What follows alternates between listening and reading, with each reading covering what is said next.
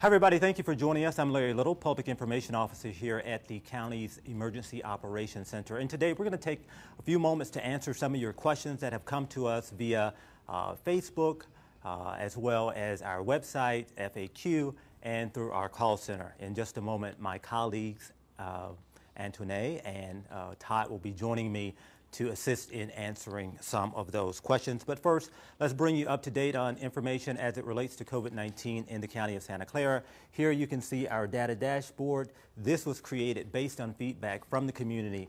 Uh, as of yesterday, we have 3,363 total cases, uh, 152 deaths, and one new death.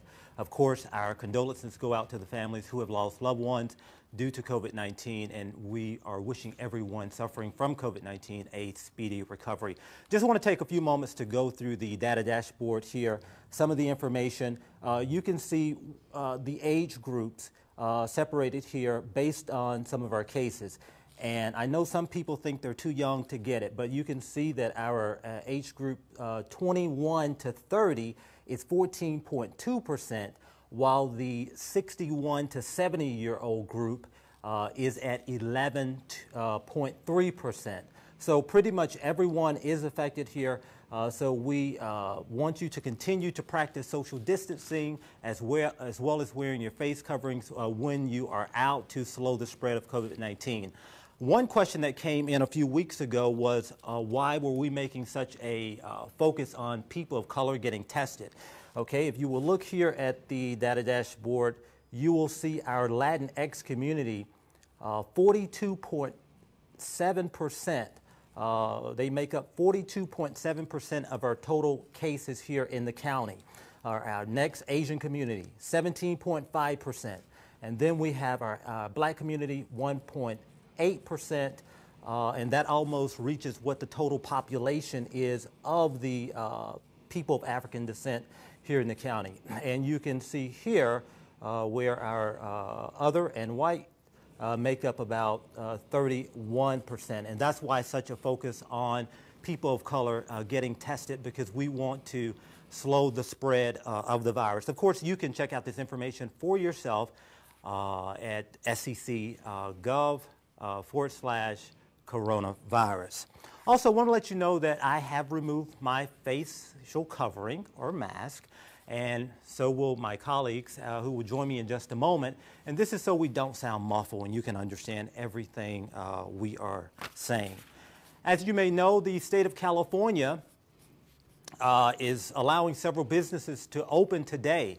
Uh, but we found out earlier this week that personal care services such as salons, tanning salons, nail care services, uh, barbershops and gyms will not be able to open. Let's just take a look at some of that uh, video from that show. Today's Facebook Live briefing will be on the current status of the county's public health order and that of the beauty industry, personal care services, gyms, and fitness centers. The state of California is allowing more businesses to open this Friday, June 19th. Hair, nail, beauty, and personal care salons are not reopening this Friday um, in Santa Clara County the Santa Clara County Public Health Order remains the same. Um, and we wanted to spend some time today to talk more about the reasons why behind that. Um, so we're going to go ahead and stop that. And we are working with several industries so we can open safely. I want to go ahead and bring uh, Todd in so we can begin to answer some of the questions. I know we were very disappointed to find out that the salons were not open uh, because I've learned how to cut my own hair, but I obviously have not. uh, I am rocking the mop 2020. Uh, unfortunately, I do not have six years of cosmetology experience like Betty Young does. Uh, so people in the comments be kind. Uh, if you can't be kind, be creative. I know it was uh, very tough uh, for us to hear the news, and, and, I'm so sorry that Betty had to deliver that news. Uh, but no one is a better advocate for that industry uh, than Betty. And as soon as the segment was over, she was already trying to find out what can we do, how can we get more information, how can we come up with a plan. Uh, and you know, it's disappointing news, but you know, of course, everything here is grounded on, uh, based on science and Absolutely. safety. And sometimes that doesn't work in our favor, as getting a haircut or going to the gym. Uh, Todd, so we want to just jump right into it. So much Absolutely. focus has been made on what's closed. Uh, let's talk about what's open in the county. Absolutely, and I think uh, our website does a very good job of pointing out a lot of the facilities that are currently open right now. So if you go to the COVID website on, through Public Health, we'll have a very nice graphic there uh, representing what is open. So for example, what currently is open is outdoor dining for restaurants. A lot of the retail facilities, if not all the retail facilities, are allowed to operate at this time. Manufacturing, research, what else? Camps for children. So there's a lot that is available, and I could keep going on and on, but I'm encouraging our community to check our website because we have a lot of information there that's readily available for them. All right, one question says, uh, can I go to my dentist to get my teeth cleaned? Isn't this considered person-to-person contact? Absolutely, and that's a great question. So dentists are a healthcare profession that do kind of facilitate a very close contact with their patients. And they're allowed to operate um, under the umbrella of healthcare because they have a substantial amount of procedures as well as PPE readily available to them now that'll protect them from whatever, you know, pathogens that may be living in people's mouths for that matter. So um, people are encouraged to go back to their dentist and utilize the services that they feel that they can safely implement at this time. Another question, uh, as a county, uh, as a Santa Clara County resident, am I allowed to go to another county for outside recreation like golf or hiking or for services not open here? I've seen that question a lot. Yeah, we actually do get this question quite a bit. Uh, people are allowed to leave the county, but only to do essential activities, which include hiking, biking, uh, golf in an approved manner that would be consistent with what our order allows, uh, to go to work and commute home. You would not be allowed to conduct those activities that our order um, is not currently allowing for. And you would also need to check the website of the jurisdiction that you'll be traveling to to ensure that you are actually in compliance with what they're providing their community as well. You know, I saw a lot, a lot of comparing goes on. Yes. With who's open, uh, what county is open, and Mm-hmm. this, and we haven't opened that. A lot of people we saw were comparing uh, this county to uh, Santa Cruz County. And Santa Cruz, they are opening gyms, they are opening barbershops. But in Santa Cruz County, they have a population of uh, less than 300,000 people. Here in this county, we have uh, 2 million uh, people. So it's it's it's not it's I, I said it's a grape and grapefruit comparison Absolutely. here. But a lot here is opening in the county, and when we do open, we want to make sure that it is safe. Uh, this one is about outdoor dining. Uh, what is it, what is considered acceptable outdoor dining? Can a patio space have walls, or does it have to be a space that is open where outside air flows? Absolutely. Uh, generally, the facility shouldn't have any sides, so it should be an open space that uh, was previously allowed uh, to allow for free flowing air because we obviously know that having a solid airflow helps prevent the spread of COVID 19.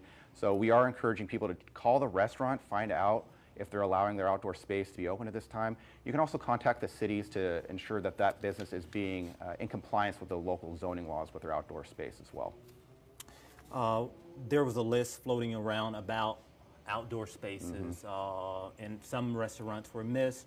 Uh, we love Gilroy. We love South County. some of the restaurants didn't appear there. So, where should people actually check for outdoor uh, dining spaces? That's a good question. I know that's um, a comment we consistently get as where can we find like just a hub of information is where these facilities are actually allowed to operate. We, at this time, we don't have a master list of all the facilities in the county, so we kind of are encouraging you to contact your restaurants, support them if, uh, if they're not also providing that outdoor dining for takeout and delivery and so forth. So it really has to do some footwork on the effort of the, of the customer to kind of maybe troll social media, uh, contact your local cities, and contact the restaurant as well to ensure that they're currently allowed to operate. All right, thanks so much, Todd. problem. we're going to go ahead and bring Antoine up. But in the meantime, while we're doing that, uh, one question, one statement just came in said they never seem to address uh, my questions or concerns. And we have an FAQ team as well as a call center team working uh, seven days a week answering questions. Also, you can go to the website here to frequently ask questions because a lot of the questions, uh, there's a commonality of a lot of questions that are being asked, and you can find the answers by going to the website and going to the frequently asked questions. If it's not there, Then you can uh, select ask a question or share a concern. We definitely want to hear from the community. Thank you so much for being here. Thank you. Uh, some businesses uh, have already opened uh, in SEC. This is what the question is saying, uh, and they are on the list that uh, they're supposed to be closed. They're not permitted to be open under the uh, current health orders. How is this helpful to those businesses that are following the rules? This is what this business owner wants to know. So it's really important um, that we have everyone in our community follow the, uh, the public health order and all of the protocols and social distancing guidelines. So if anyone in the community um, sees someone that might be in violation of the order, they can definitely reach out to us um, through filling out a form directly on our website or and that will be funneled directly to our district of attorney's office who can take a look uh, at that specific complaint and see, you know, if someone is potentially in violation. And our staff at the county will work to make sure that everyone um, is in compliance and is COVID-19 prepared. You said district attorney, and I wanted to run out the side door. Uh, the county is here to help businesses, and uh, we're not going around and writing citations. So the first uh, order of business when someone calls is we want to educate the business because this is a lot. You know, this is not something that we've gone through before. We want to educate the business and make sure that they are aware of what they should be doing because there's a great chance they don't know. Next question from a concerned uh, community member here in Santa Clara County. The health of essential workers is paramount. I have observed many businesses where people are not wearing masks, and this concerns me. What can I do as a customer? So that's a great question. Face coverings or masks are required when anytime you're um, out outdoors um, or at a or when you're at a business, whether it's outdoor or indoor business. So as a customer, uh, you should look for the check mark to and the visitor information posted at that business to make sure that they are COVID-19 prepared. Uh, this check mark helps ensure that the business is following the social distancing protocols that are set forth by the order and that uh, everyone is well aware of what the requirements and guidelines are to keep the customers and, um, and all of the workers safe at that site. Yeah, I, let me just go to this question because it's related. It says, why should I care about a business displaying a COVID-19 check mark? Is this important to me as a customer? It definitely is because that check mark ensures that that business is working to make sure you're safe um, as well as the workers inside. And uh, if you're a worker in that business and you're concerned about the social distancing protocols being um, whether or not they're being followed, you can call our uh, Office of Labor Standards and Enforcement uh, advice line at 1 866 870 7725 to help make sure, so that way uh, county staff can work. Uh, with that business to help make sure that they are COVID 19 prepared and all of the protocols are being followed as they should be. Mm-hmm, because if I don't see that check mark, I'm turning around and going back to the car. Uh, this question says, I have observed many workers with their mask below their nose and working in very close proximity. Should workers be wearing masks? What can be done by the county to educate these workers? So workers definitely should be wearing their masks properly. So that means covering your nose um, and your mouth and that it, you know, it's fitted correctly. Uh, so for the county, we're really trying to make sure that we have up-to-date uh, guidelines and information available on our website, on all of our social media accounts to, to educate folks that we um, are encouraging folks to, to wear these masks and follow these guidelines. And you know, if you think that we should be doing more outreach to the community, if there's specific organizations or groups that we're not reaching, please share that feedback with us. You can reach us again directly on our website. Um, give us that feedback uh, through the, the form that's available and let us know. And we're more than happy to continue to increase our outreach and make sure the message is getting out to everyone in the community. I like that. You said, because we're always looking for the community to reach out to us. One of our uh, comments here says, tell us something new. Uh, we're waiting to hear from you. What do you want to hear? What do I mean? What is it that you would like to know? We depend on the feedback of our community in moving forward in this pandemic. Okay, next question says a lot of people are walking in my neighborhood with no mask on. Should they be wearing masks? And I think they're exercising. Yes, so when you're exercising outdoors, um, you're not required to wear a mask. You know, if you're running, um, going on a hike, or even walking around your neighborhood. Uh, But what you should do is have your mask or face covering with you handy in case you're not able to practice social distancing. So if you're walking by, you know, a group of people that's not part of your household, you'll want to have your face covering with you to, to kind of quickly put on so you can protecting yourself and the folks that you're you're passing by when you are exercising outdoors. All right. Uh, this one's coming from a small business owner. It says, Where can I find information about resources that are not? Uh, where can I find information about resources that are available? And it looks like this came from someone in the personal care business, and they've been deeply affected by it. Where can they find information about resources? So if your family member or you know someone in your community has been infected by COVID-19, we know that we all have, but if they're in need of you know things like food assistance, healthcare services, financial help, legal assistance, legal assistance, other support services, the county is here uh, to direct folks to the right places. Um, so we do have a community resources page on our site. Again, you can reach us again on the form or by calling 211 to help direct you to the right place where we can get you the, the assistance and help that you need um, as quickly as possible. We want to be very responsive uh, to the community's needs, and we know that a variety of folks are impacted uh, by COVID 19 in a lot of different ways, and we want to be there to help. All right, thanks so much. This one is going on to testing. I visited one of your testing sites. Uh, when can I expect results? So if you tested um, at one of our pop-up sites and you did and if you tested positive at one of these pop-up sites so those are the sites that um, change every week and where we post a schedule of that you know on social media and on our website um, so if you test positive at a pop-up site you will get a phone call within 48 hours of the date that you tested people who tested negatively through those pop-up sites will get their results via the mail if you have not received your results at one of these pop-up uh, test sites, please call the Santa Clara Valley Medical Connections line at 888-334-1000.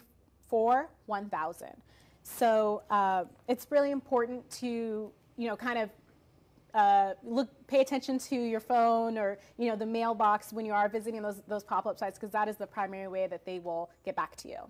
And is there an age limit for testing? So there isn't an age limit, but depending on the testing site, there may be uh, age requirements. Uh, so if you're at one of our pop-up sites, the all, all ages will be tested. Um, the same goes for providers. They should be testing folks of all ages. But if you're going to one of the sites that are served by OptumServe or Verily, um, there are age requirements. OptumServe uh, tests folks who are 12 or over, and Verily requires folks to be um, 18 or over. And also just as a reminder, if you're visiting one of the pop-up sites, we, we suggest um, that is, those are for sites for folks who are not uh, symptomatic. And if you are um, symptomatic, we encourage you to look at, uh, uh, to contact your provider or go to one of our community sites. And next, is there antibody testing available now? Currently, antibody testing is not available. We will be considering, um, you know, considering that for the future, but right now it is, it's not available at our sites. All right. Hey, thank you so much for joining me and answering uh, all of those questions. I'm just going through some of the comments here, but thank you so much. Uh, if you have any questions, just go to our website. It's very, very useful. You can go here, use the search engine. For example, if you're looking for FAQs, you just type in FAQ and the information uh, comes up there. Uh, anything you're looking for, you're looking for testing, uh, any information you're looking for, it is going to be there. We want to thank you for watching. We know this is a very difficult time. We thank you for everything that you're doing to keep this community safe. All of the decisions here, they're not easy. I mean, they're affecting everyone, but they are uh, rooted in science and safety, and sometimes that does not always give us the uh, favorable answers to do the things that we want to do. But if we continue to uh, shelter in place, uh, social distance and wear our facial coverings, the numbers are going to go down and we are going to get to a better place. Uh, many of you watching here, you're very uh, tech savvy, so you can easily go to Google and search, and you see some of the places that have opened, some of the states that opened too soon. Uh, they're seeing a spike in the numbers. Even in this state, uh, our neighbors to the south, they are also seeing uh, numbers spike, and we've been holding steady for a while. So uh, we appreciate everything you're doing. We look to hear from you. We want to know what you would like to uh, know from us. We appreciate your feedback. Uh, have a safe weekend, everybody, and stay. Uh, we will see you next time.